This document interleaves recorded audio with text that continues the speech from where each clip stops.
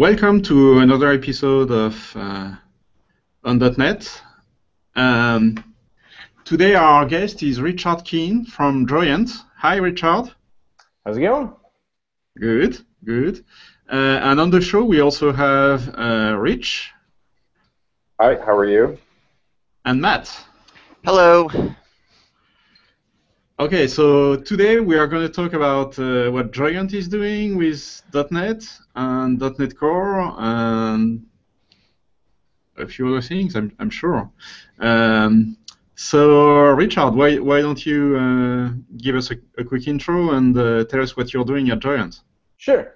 Yeah, uh, I'm an engineer uh, at Joyent, so I work on a lot of the APIs and some of the stuff that, that runs our uh, public and private cloud.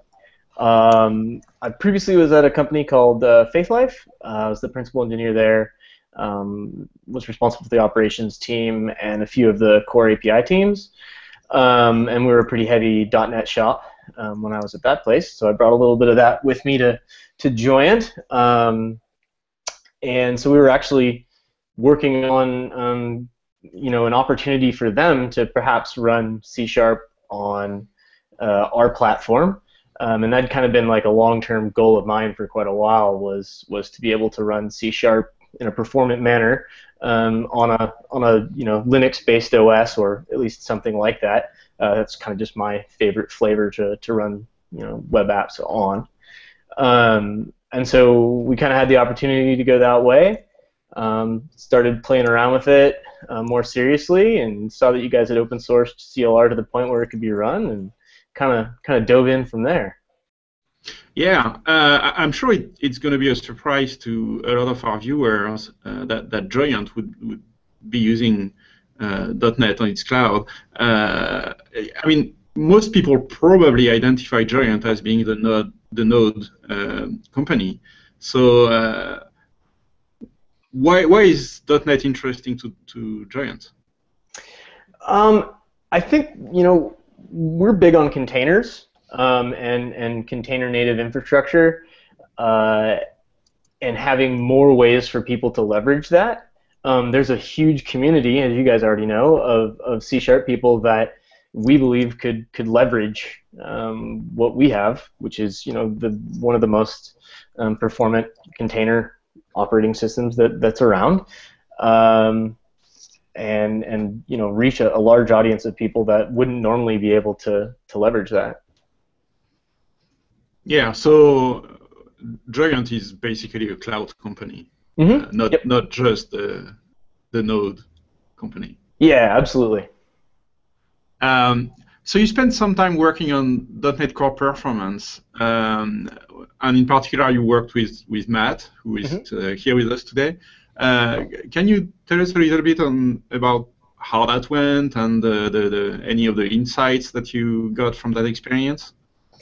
Yeah, actually, uh, that, that went really well. Um, you guys were a great help and, and, worked with us quite a bit. Um, I, I kind of dove in just as a proof of concept and saw your guys' benchmarks and wanted to see, you know, how well it would do on on our our flavor of Linux and noticed that it was quite a bit slower uh, and, and wasn't quite sure what was going on. Um, started diving in, started look, starting using some of the, the debugging tools that we have available to us um, on, on the Joyent platform, which is like dtrace and MDB and um, kstats, prstat, etc. Um, and just for the life of me, wasn't seeing anything great, but we, we couldn't get good stack frames, um, being managed language and all, and um, not having the full like tool set that we have for Node. Um, so I, I, ran it on VMware and just thought I would check. I'm like, wow, that's really weird. It, it matches their performance exactly. Um, and then I ran it in my test cloud. I have like a, we have a little cloud on a laptop that you can run and it performed just as good as your guys' results on mine. I'm like, what's going on here? It's, it's really odd.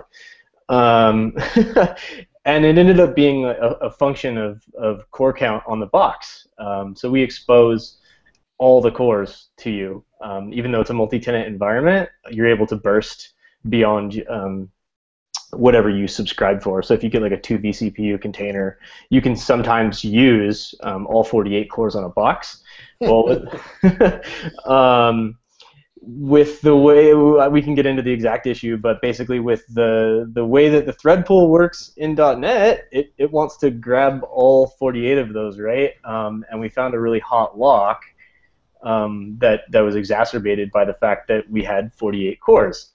Uh, and and sure enough, if you would have ran it on a 48 core Linux box by itself, you would have you've noticed very very similar results. Um, so, I mean, kind of went from there uh, with the help of, of Bryan Cantrill and, and Patrick Mooney. Um, just kind of started dissecting stack frames and trying to, to take them back to um, the underlying um, Core CLR code and MVC code.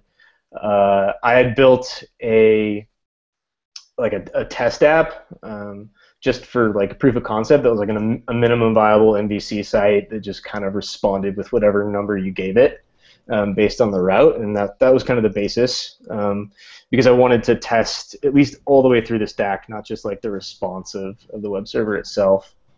Um, and we we what was it? If I remember right, we stumbled upon a stack frame for for ICU, and they're like, wait a minute, why is ICU showing up so much?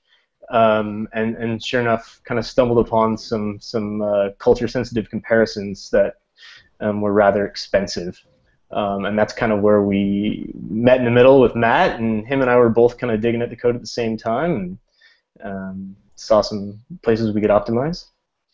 Yeah, and, and we had it was it was kind of neat because we had you you were working I think on like the beta 8 bits at the time or something and and there had already been performance improvements we had landed before you'd even started that had helped somewhat, and then um, and, and we sort of knew about those issues. But then uh, your app was actually really really helpful because it was just great to take it, run it in the debugger. Once you point out that ICU was sort of a, a hot point, it was easy for me to say, okay, let's just break everywhere that we do. Um, you know, access to ICU, and let's just start looking at what the managed stack frames are when this happens. Um, and it was very quick to point out, oh, here's one little place where we're doing some culture sensitive work that doesn't need to be, and it was on the core routing function for um, ASP.NET, so every request was going through it, um, and, and then causing that lock contention because of some locks uh, ICU is taking internally. So it was easy, uh, at, once we had the sample app and, and could see under the debugger, oh, here's the managed code that's causing the problem, and we don't need to be doing this work just to submit a PR. It was like a one or two line PR. Um, to, to remove that, get it fixed, and it was a fairly sizable performance increase for number of uh, requests per second. Yeah, that was huge. I don't remember the exact number, but it was it was a big win. Uh, you mentioned earlier that uh, you have your own flavor of Linux. Um, can can you explain uh, why that is and uh, how it differs from I don't know uh, the, the the the distros that people are are using usually? Uh, so it, it, really is just their distro. Um, you can you can run Ubuntu, you can run CentOS, uh, fill in the blank. Um, what we provide is basically Linux uh, system call table emulation, uh, and sometimes it's one to one, so I shouldn't necessarily say emulation. But um, the underlying OS itself is actually SmartOS, uh, which is a derivative of Illumos, which is a derivative of Open Solaris. Um, uh, but we provide the full Linux call table for um, the distros. So it, when I say our flavor, it, that's the reason I mean flavor. But realistically, you can run Ubuntu, and we actually have like certified um, canonical images. Uh, you can run CentOS. You can run fill in the blank uh, Linux distro. Okay. Are there any compatibility issues with that? Meaning, um, if you're emulating some higher level operating system and they start doing strange things. Uh, they make a bunch of design choices. Is it hard for you to emulate that below them? Um, well, thankfully, we've solved most of those problems. Um, they do come up from time to time, uh, and uh, Patrick and Brian, as I mentioned before, they're kind of uh, the, the key people on that, and uh, they solve those really quickly. So every once in a while we run into something small, some like esoteric usage of some random Linux command that you know we didn't see coming, but those are really really few and far between anymore. Hmm. Makes sense. Yeah. Okay, actually, um, you and I talked about this a tiny bit. Can you tell us, um, you know, so containers are obviously becoming popular in the, the Linux world, and they're actually starting to migrate to Windows as well. Yeah. Uh, it, it sounded to me like the the what you guys offer with containers is actually different than what you would get with containers on on Linux, uh, regular Linux. Yeah, for sure. Um, containers on Triton, our, our cloud platform, are not uh, hardware virtualization. They're OS virtualization. So you don't have the, the, the mono, you know, like the huge hypervisor penalty. Um, it's a really, really thin layer between you and the and the underlying bare metal. Um, so that's that's pretty huge. Um, and it's the only way to do that that, that I'm aware of um, in a secure fashion. Whereas a lot of like LXC and other things haven't actually been certified to run um, securely multi-tenant um, in a cloud area. Our stuff has, and that's kind of a huge win uh, to be able to take away um, that hu- that call stack that you'd have to go through with a hardware virtualization. So th- that sounds valuable to me. Um, uh, there seems to be a lot of steam, though, I guess, on the just um, plain vanilla, vanilla type of container. So is it that people just haven't kind of realized that there's another model, or um, yeah? Yeah, I think that's our biggest challenge, is getting our name out there, and so people are aware of what we're doing. Um, I think th- on that same light, I should probably mention um, we support the full Docker suite. Like you can, well, I shouldn't say full. We support a giant set of of Docker. Um, and one of the cool things about our platform is actually that uh, every data center is like one Docker host. Whereas like in a traditional setup where you're doing hardware virtualization, each hardware virtual machine has a Docker daemon, and then you run containers inside that hard, hardware virtual machine, and you've kind of got to, okay, how big is my hypervisor going to be, and then how many containers can I put in it? We've taken that problem away, and an entire data center becomes your Docker host. Um, and so that's it's that's a pretty huge win, um, and it kind of helps people relate to to what we're we're doing and you know some of the popularity around that. Yeah, it sounds it reminds me of the difference between um, logical disk managers and having to worry about disk partitions. Yeah, sure. Yeah, it's a nice abstraction that way. Absolutely. Makes sense. Um, let's see. Uh, so oh, I had I made a list of questions actually. So um, are you doing this just because uh, all the cool kids are doing .NET these days, or do you actually have a customer that's kind of asking you to prove out uh, .NET on on your uh, on Triton? Yeah, so we, we definitely have a customer, um, the, my my previous employer actually, um, who who's headed that direction, and, and we wanted to make sure that that would be a viable direction for them. Um, and that was that was the business case for why we were working on it. Um, me personally, I I am a fan of, of C sharp. Uh, I, I do like working on that, and I've like for had for like a few years now, I've had this dream where, uh, you know, traditional Windows C sharp developers, ASP.NET developers could work on their Windows boxes, develop in Visual Studio. I don't think anyone's going to argue that that's the best way to do that, and then be able to deploy to, um, you know, a, a Linux server or, or a Triton container or whatever, and have like the operations folk, which might be in a totally different camp, or you know, if you're more DevOps integrated or whatever, you might be entirely that direction. Be able to do the same thing on on the best platform to write it, and then bring it over to you know the, the flavor that that you run in production. Um, so you know those kind of competing things. I, I that's what that last part is what kind of excited my my weekend research into it. But the business case was definitely we do have um, a customer and and lots of people lining up actually. Cool. Um, so uh, you learned about um, the new .NET Core open source community that we have going on GitHub. Mm-hmm. Uh, what what did you find there? Like, is there anything surprising about how Microsoft is doing open source, um, or what you expected? Um, I mean, from the from the open source repo and community side, it's what I would expect. I mean, there's there's plenty of engagement. Uh, the the Gitter channel has lots of people going. Um, you know, I mean, the your guys' code is relatively well commented, and I can follow through it. Like that was one. Some of the nice stuff was actually like digging into um, the the lower level bits in Core CLR, where there's like page long block comments explaining exactly what's going on, and it feels like home. Like we have a lot of that in, in our code base too. Um, so that was kind of that was really cool. And then I think the most surprising thing was just how eager you guys were to to jump in and work with us, and how fast we solved that. That was that would be the one thing that surprised me. Is like, okay, I mean, I, I get I get that we're open source and we're embracing the community. That's that's kind of the thing. Um, but to go from a weekend project to bam, solved it, huge performance win between, you know, the the joint Microsoft partnership there. That was that was surprising. That was cool. Although it was it was because we were all in Washington, right? Yeah, maybe. Well, I mean, uh, actually, yeah. Uh, Brian's in San Francisco and Patrick's in Minnesota.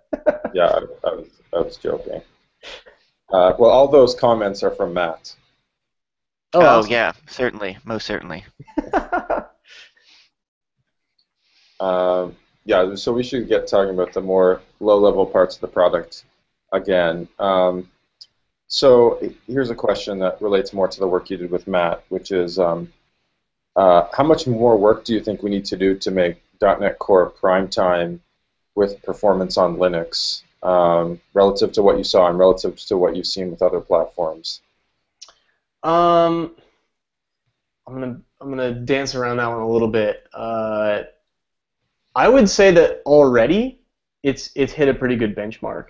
Um, I was I was able to honestly say that you could deploy a Node app and a C Sharp app, Sharp app on our platform side by side and get um, relatively the same performance, if not slightly better of Core CLR, um, depending on how you deployed it.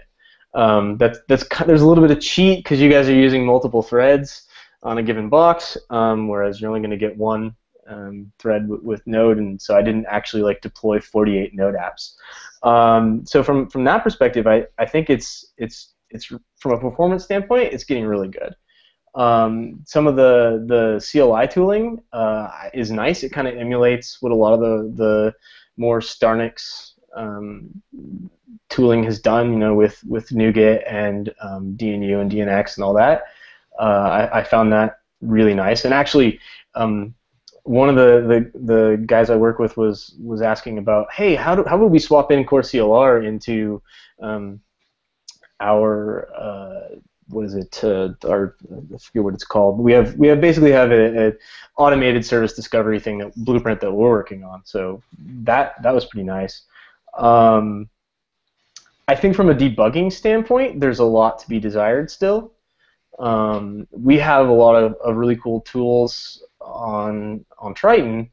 And one of the things we did with Node.js is build a, a stack helper and an MDB um, plugin that we can actually get the managed call stack from core dumps or core samples um, live, and, and closing that gap and being able to do the same thing um, for Core CLR would would would be huge. Makes sense. So I will say that um, when we did the performance investigation, we didn't have a bunch of those tools. We have been bringing uh, some of them online now. We have a tool called PerfCollect that will work.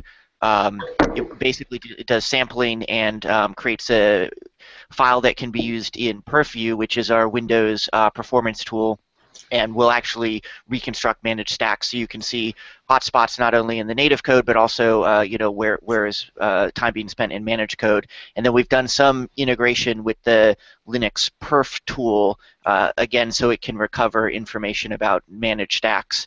Uh, so you can collect a trace on Linux um, and then view it in the perf tool.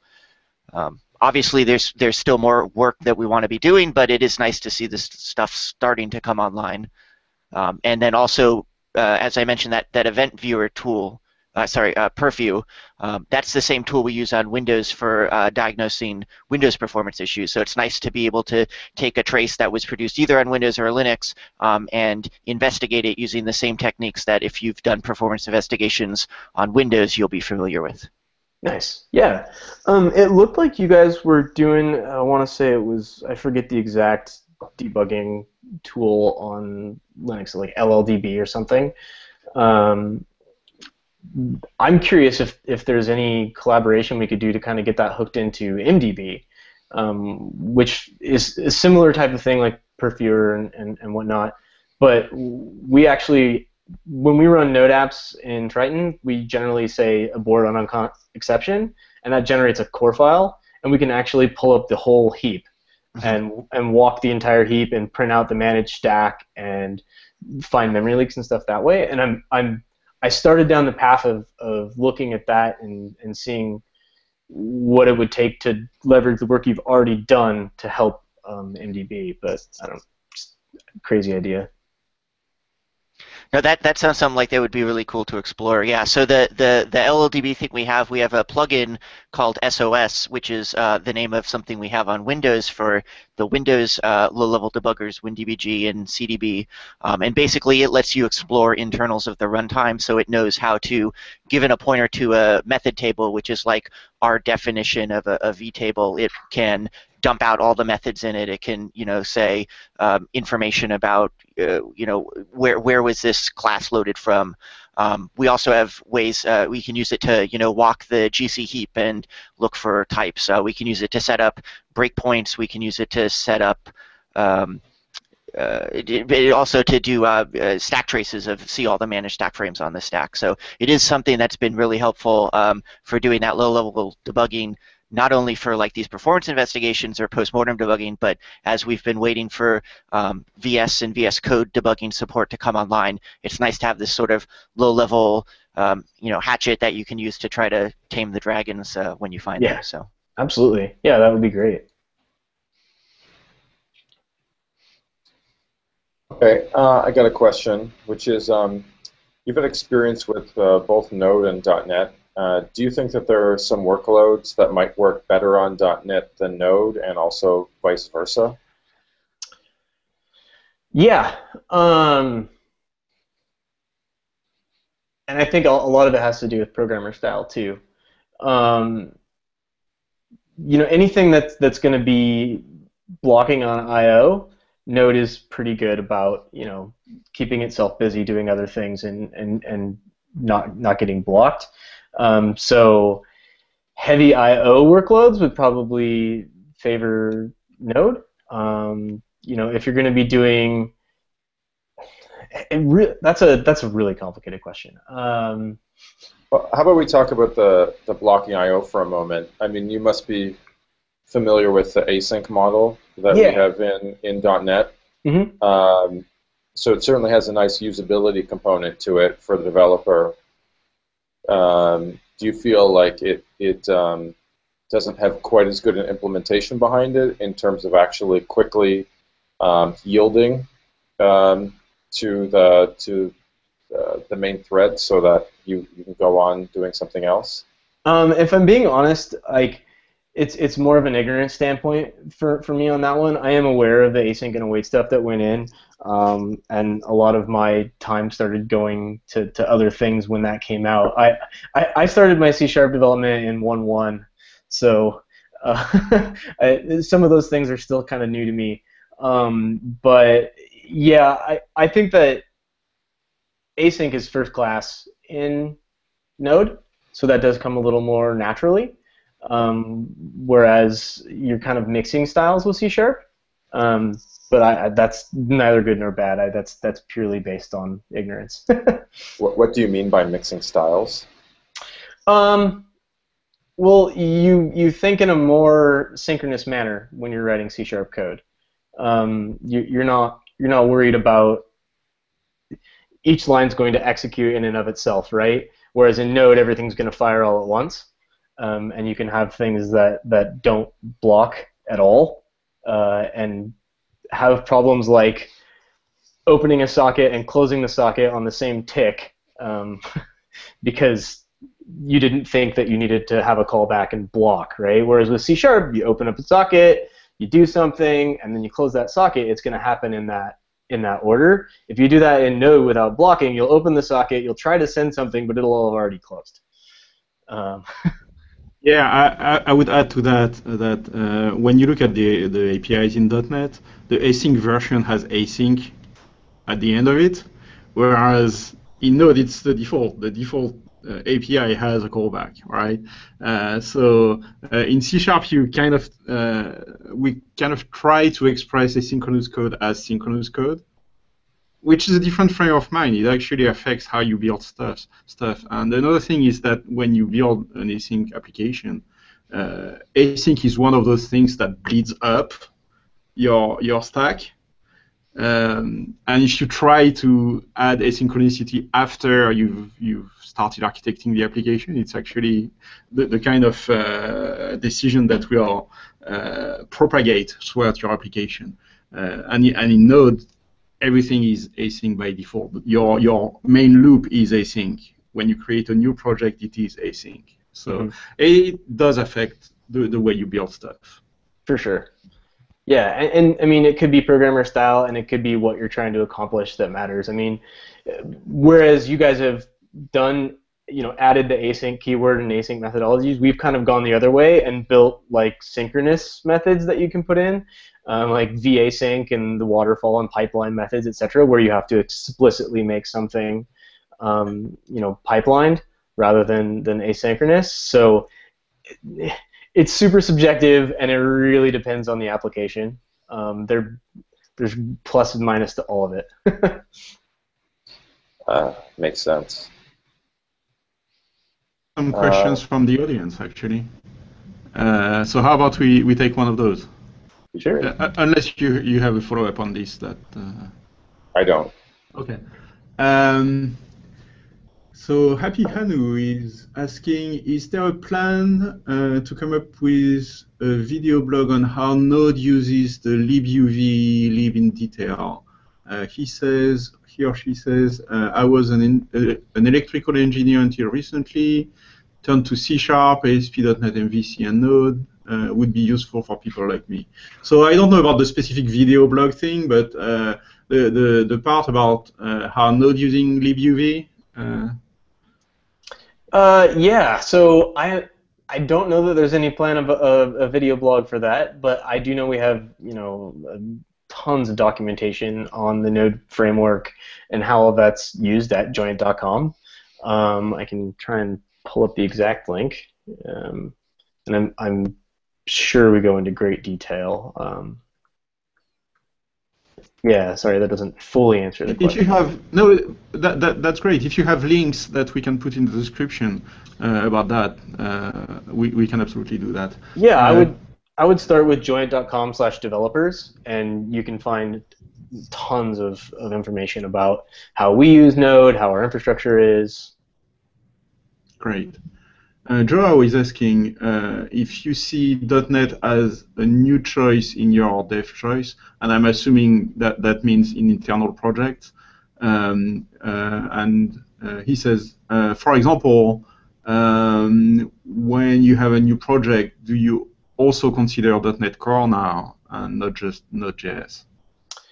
Um, we're just super pragmatic. I mean, we don't default to any one thing. I think it's easy for us to default to, to Node.js because we have a lot of expertise there. I mean, but we've we've built out Go APIs and, and to fit in with Docker and, and make all that kind of stuff work. So yeah, I would say that that Core CLR is, is on the table for sure. Um, there's been some discussion of that and how we could leverage it. Um, cool. I'm, I'm very glad to hear that. Yeah. Um, and another one is: Are there any plans to? Uh, and this is this is a Node question. Uh, are, are there any plans to implement stuff like uh, memory mapped file I/O into Node? Uh, I, I'm not the person to talk to the Node ro- roadmap. um, uh, actually, Fair the enough. the Node repo itself we uh, handed over to the to the Linux Foundation, and there's now a Node.js Foundation now. Um, so the the pull requests um, and in GitHub issues at at uh, Node.js on GitHub would be the best place to check for that stuff. Okay, we are also linked to that. Cool. And that's it for now for audience questions. Uh, Rich, if you have. Uh... Sure. Um, back to the platform comparison, since I like those so much. Yeah. Um, what do you think uh, .NET Core is missing that some other platforms have, uh, or you know, is there anything in particular that you would like to see us change from uh, from what you've seen so far? You know, my biggest thing would be reducing the amount of ceremony that has to happen to get an app running. Um, I think there's been steps headed that way. Um, that's that's been pretty obvious, but you know, to, to get a to get a Node.js app running is like five lines of code, and you've got Hello World responding with a web server. Um, I think steps in that direction for Core CLR would be would be a big win. Um, yeah, I don't think you'll have to convince the three of us of that. I think we uh, we all we all like that kind of idea for sure. Um, let's see. So um, we've been spending time making .NET Core and ASP.NET Core better relative to the TechEmpower benchmarks. Cool. Uh, I, I, assume you're familiar with those benchmarks. Mm-hmm. Yeah. Yeah. Do you, do you think that they're good and representative, and that uh, us spending time targeting those is a is a good use of time?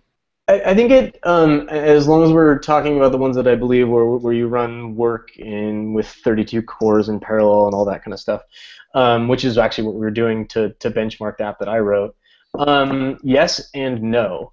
Uh, a lot of those seem to only be testing the web servers stack and not the upstack components that are a little more real world, um, which is why I actually wrote the, the little MVC test that I did.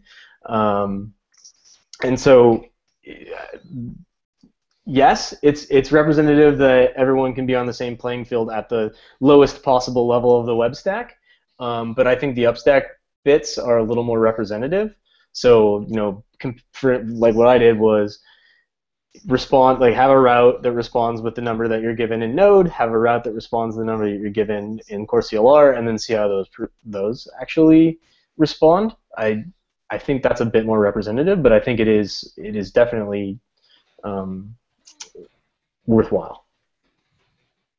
Right. So it's it's, it's one part of mm-hmm. the story is what I what I hear you saying. Yeah, for sure. I, I think just leveraging that type of testing against more upstack stuff is is what I would advocate for. You're right. Um, and that's obviously not unique to, to .NET, but to basically anything. Absolutely. Yep. Uh, so actually, um, we've been looking a little bit at um, Electron. Um, there's some uh, folks, actually both inside the Microsoft and also outside, that have been using it to build uh, client apps. And one of the patterns that we've actually been seeing emerge is using JavaScript on the front end and .NET on the back end. Hmm. Um, so there's actually this library called Edge that its its sole purpose in life is setting up this kind of situation, and um, I believe you can also. Uh, uh, Bertrand will correct me if I'm wrong, but uh, I believe you can also use it on the server.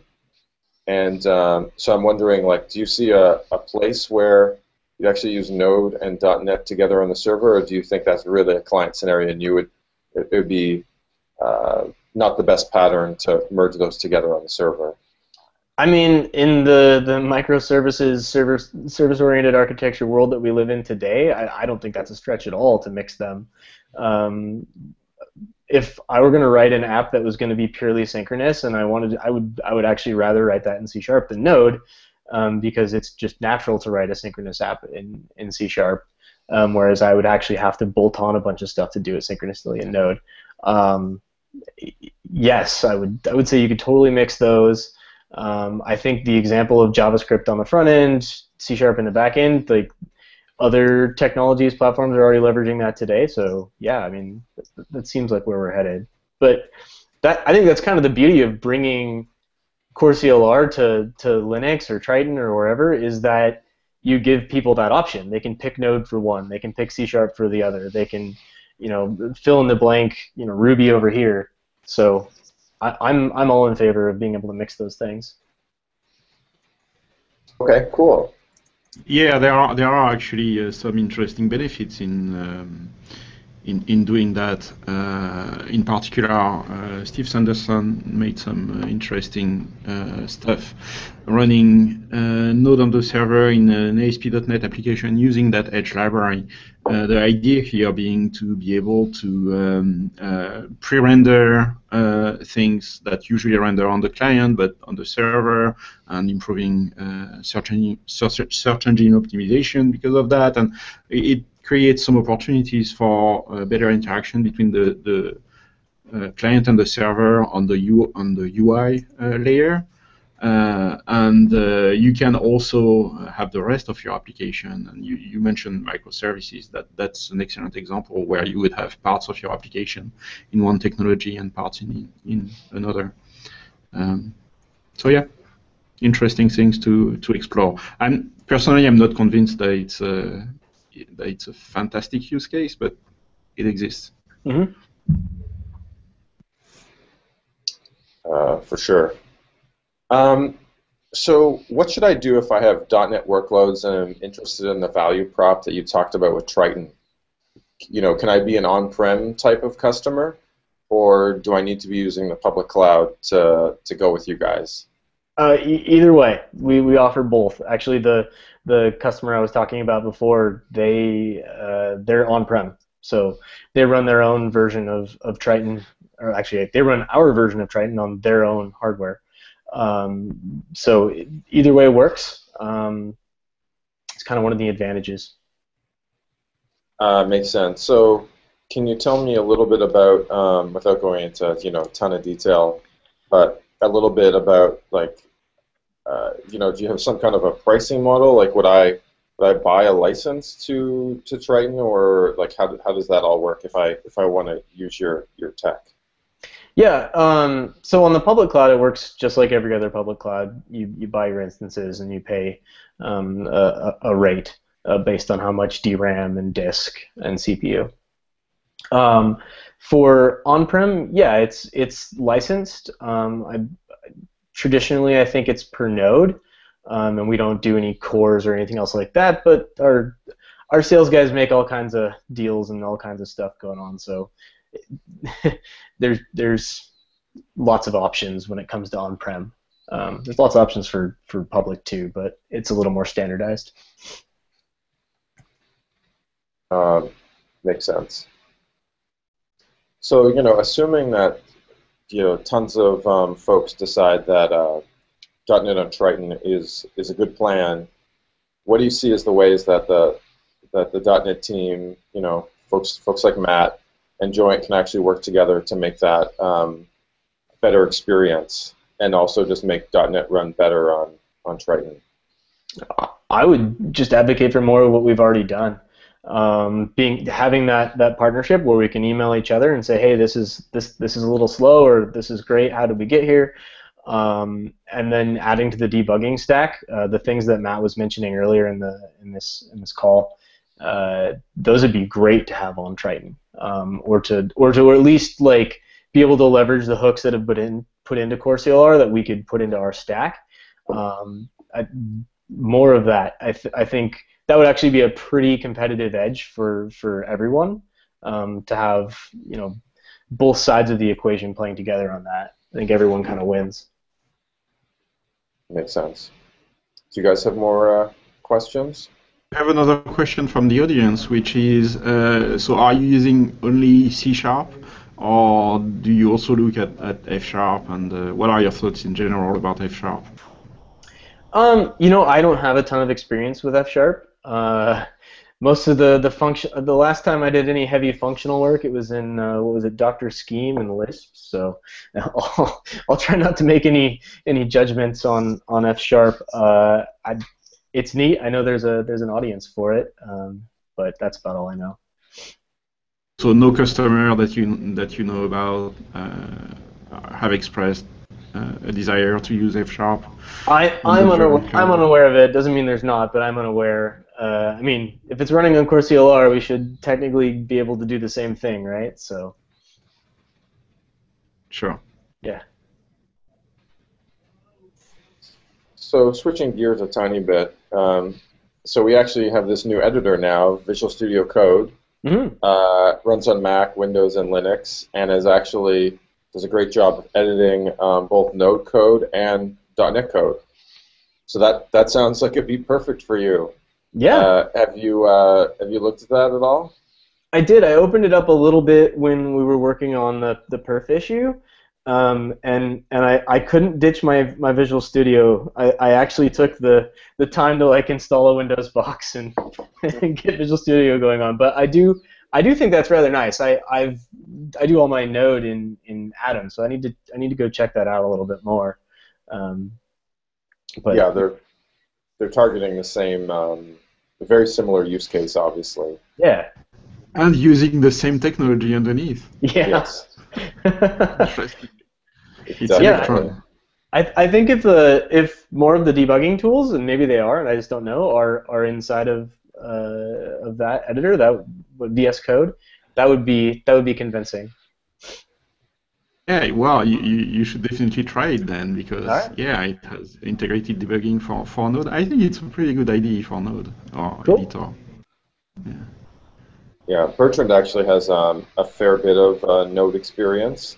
We um, uh, hired him away from a startup uh, last year, and he was doing uh, full-time Node development um, at Not full time. time. Not full time. Uh, okay. Okay. right. So only 70 hours a week. Yeah, so part time. Uh, uh, another question from the audience. Uh, Robbie is asking, uh, do you have a dedicated physical Windows box? So, so I, I guess that's more about your uh, day-to-day development environment. uh, I do not. I have a I have a Windows VM um, that I that I run. I have a collection of random stuff, but all of it's mostly uh, Triton. Thomas has a funny question. The question is, did I miss the NPM and left pad discussion? Uh, no comment. So, yeah, so for, for people who don't know about this, there is a, a big uh, discussion across the whole community about dependencies and what happens if a dependency disappears. And if you're interested in that stuff, uh, uh, the NPM team published an interesting blog post explaining the whole situation and how they dealt with it. So, recommended reading if you're interested in that. That's why we have NuGet, right? Um, Yeah, NuGet actually has um, very uh, strict policies on deletion. Yeah. There- There's no, they they have they're the only ones that can delete. So I have a question for Matt.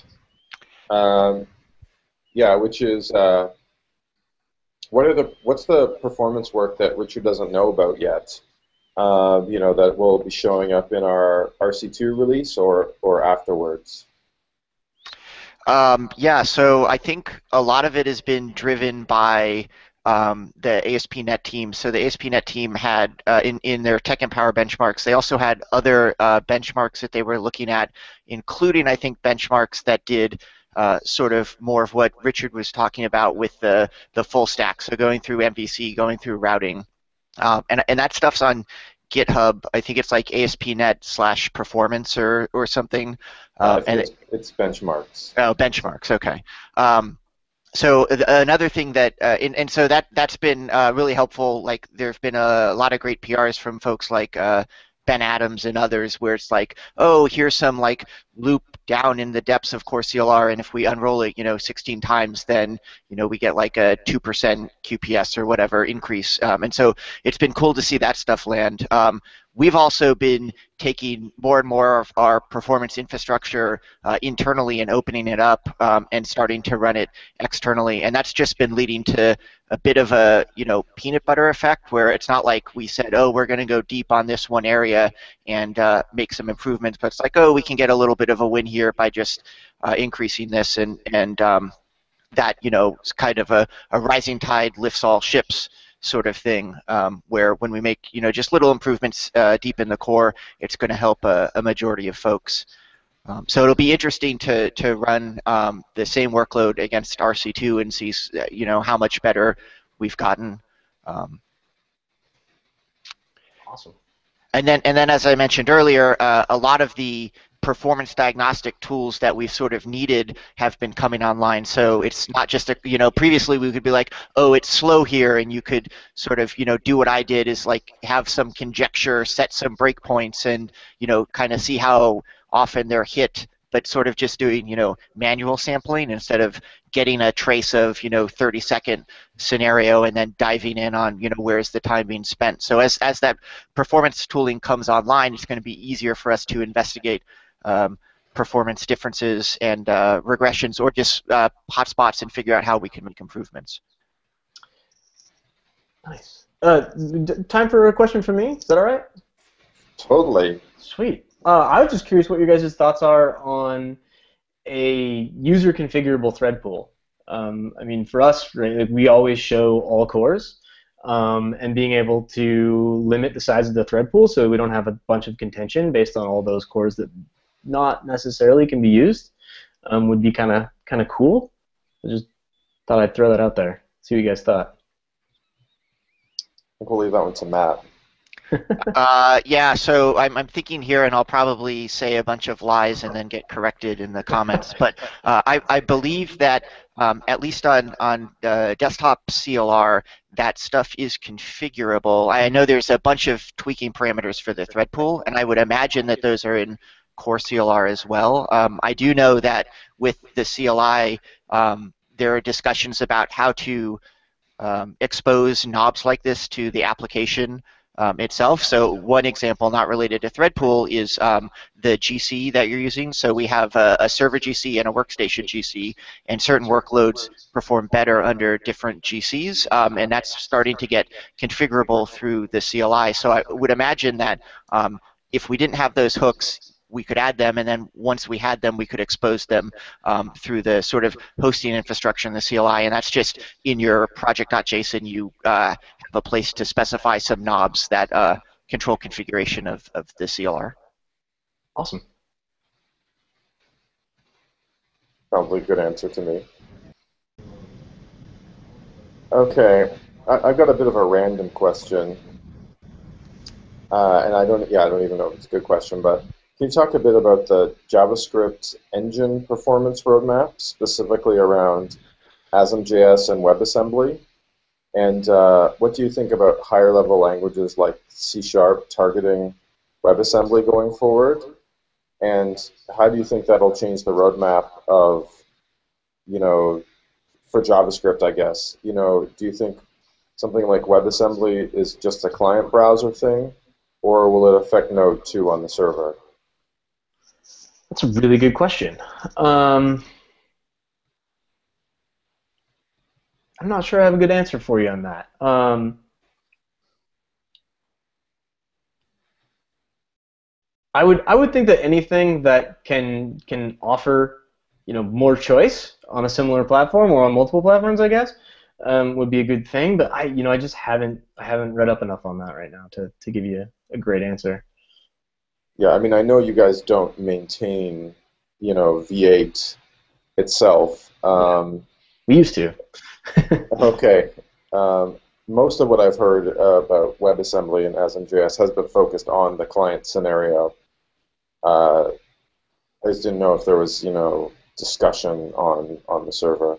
It seems like it makes sense. Like, you know, client apps load native code all the time, like outside the browser. So wh- why wouldn't it be uh, applicable to a, a Node.js app? Yeah, you know, we tend to be pretty conservative with our usage of Node and new features. Um, so we have, I, I'm not aware of any discussion down that line, but it do, doesn't mean it's not there. Um, makes sense.